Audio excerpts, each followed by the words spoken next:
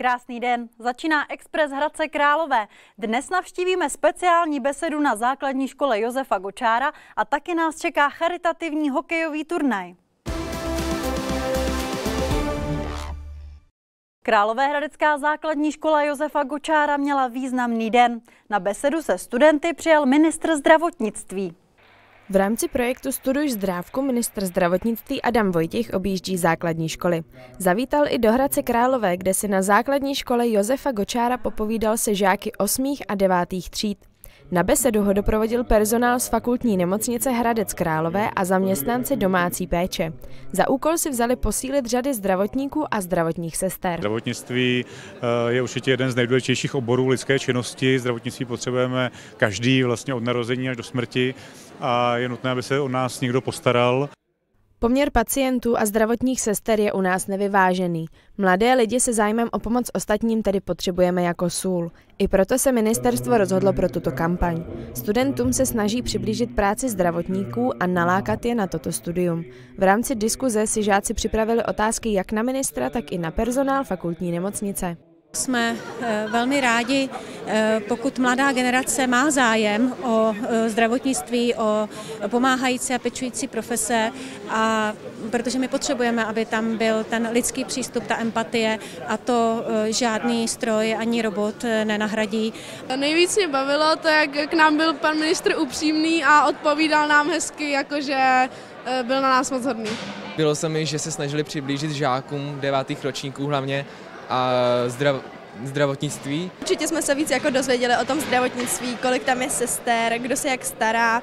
K projektu patří i možnost vyzkoušet si na virtuální realitě lékařský zákrok. Uprostřed nákupního centra se tedy pár odvážlivců ocitlo na operačním sále a nebo se mohli přiučit potřebné informace k resuscitaci.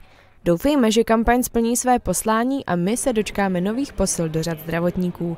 Tereza Karanská, televize V1. Na sobotu 22. února si Aquacentrum v Městských lázních nachystalo speciální relaxační večer s UV barmanskou show. Profesionální barmanskou exibici rozšířenou o efekty UV lamp a speciálně upraveného vybavení, jako jsou například zářící lahve a shakery létající ve vzduchu, můžete shlédnout po 21. hodině. Po celý večer pak bude otevřen samostatný mobilní bar na míchané nápoje.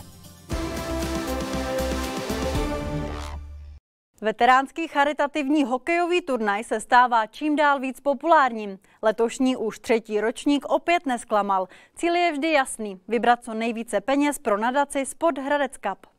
Turnaj v ČPP aréně byl letos opět úspěšný. Prostřednictvím nadace Sport Hradec Cup se totiž na pomoc handicapovaným dětem dostalo rovných 350 tisíc korun. Mám radost z toho, že tento turnaj je v podstatě charitativní a výtěžek z tomboly a, a z prodeje věcí bude poskytnut na e, nejrůznější charitativní účely a to já si myslím, že je, že je dobře, že o to radostněji se ho naši hráči zúčastní. Po hokejovém turnaji se konala ještě charitativní dražba. Sport Hradec Cup vybírá na handicapované děti po celý rok. Pomohl tak už mnoha rodinám. Všechny prostředky, které dneska vybereme, ať už dnes během zápasu nebo zítra během dražby, budou určeny pro tuto nadaci. Takže celá, celý, celý ten důvod, proč to tady organizujeme, je v podstatě jenom to, že máme rádi dobrou zábavu, sport a chceme pomáhat handicapovaným dětem. Tím, že už je to třetí ročník, tak už se to stává jako populární akcí mezi hradeckými hokejisty. Dokonce za nás letos nastupuje několik bývalých hvězd NHL a zahraničních lig, jako třeba Jarda Kudrná, Honza Hrdina, nastoupí tady i Pepa Marha, bude tady hrát Peter Freehauf, takže je to opravdu zajímavá akce. Uh, Když jsme cestovali po městě, bylo to nádherné. Líbila se nám historie, kultura. Dali jsme si dobré jídlo. Přijeli jsme si s týmem zahrát a užít si to.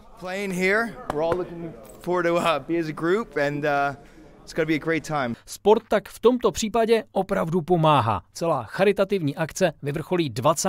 června, a to při fotbalovém turnaji na hřišti TJ Slávia. A hokejovým zápasem se s vámi rozloučím. Už za týden se na nás ale opět dívejte. Zatím se mějte krásně a těším se na viděnou.